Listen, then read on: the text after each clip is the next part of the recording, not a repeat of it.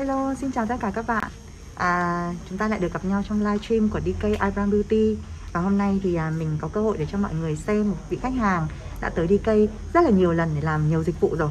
Thì à, chị tổng thể là chị đã qua để à, làm môi này Sau đấy thì hút sửa lông mày với công nghệ siêu laser Pico Max Và ngày hôm nay là đã được làm lông mày mới với công nghệ hair chop rồi ạ. Thì à, trước khi mà mình nói kỹ hơn về dịch vụ của DK Thì à, mình xin phép là làm quen à, với bạn ấy một chút nhé à, Chào bạn, bạn thể cho mình biết tên của bạn là gì này và bạn đến từ đâu không ạ? Em tên là Thắm ạ, em đến từ Yên Bái ạ Uhm, Thắm ơi, không biết là bạn ở Yên Bái xa như thế thì lý do gì mà bạn lại biết tới đi cây nhỉ?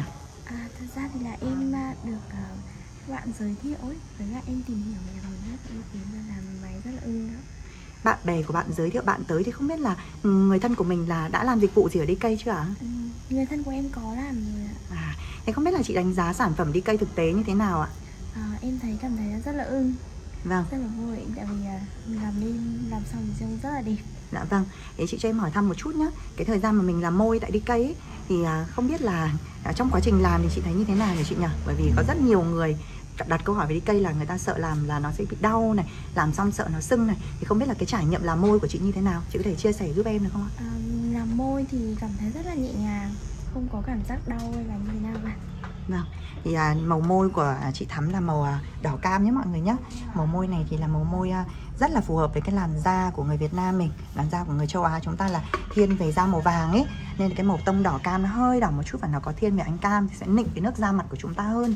Và ngoài ra thì à, như mình có vừa chia sẻ ở đầu livestream đấy là bạn Thắm bạn còn sử dụng thêm cả cái liệu trình xóa xăm tại à, DK nữa. Thì không biết là trước khi mà sử dụng liệu trình xóa xăm ấy thì Thắm lo sợ điều gì nhất?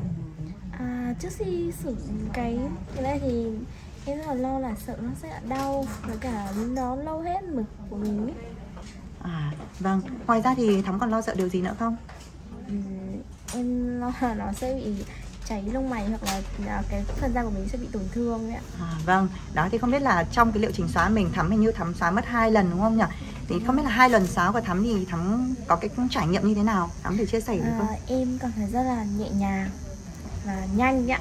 Không như mọi người thường kêu là sợ đau hay là bị cháy hay như nào thì xóa xong mình rất là yên tâm. Vâng. À, như bạn Thắm có vừa chia sẻ đã với công nghệ siêu laser tại bên mình ấy thì sau khi xóa xong thì vùng da của khách hàng hoàn toàn bình thường không có chảy máu không có bỏng rộp và vùng lông mày của khách thì không bị cháy và ngoài ra thì sau khi xóa xong là thắm à, có thể trang điểm kẻ vẽ được luôn và đấy ở cái lần xóa thứ hai này là ngay mà khi xóa xong một cái là thắm đã có thể làm lông mày mới được luôn rồi đấy ạ và em nhờ một kính quay sát một chút vào tình trạng lông mày của bạn thắm nhé lông mày của bạn thắm thì sợi lông mày rất là ít cực kỳ là ít luôn ý. Hầu như là không có lông mày thật. Đây hoàn toàn là các sợi được Master Hoa Minh Vương thực hiện làm bằng à, công nghệ hair chop để đưa xuống dưới da cho mình. Cho mình hỏi thăm một chút là đấy sau khi xóa xong và làm lông mày ngay như vậy thì bạn có cảm thấy đau rát khó chịu không? À, mình cảm thấy không không đau đâu.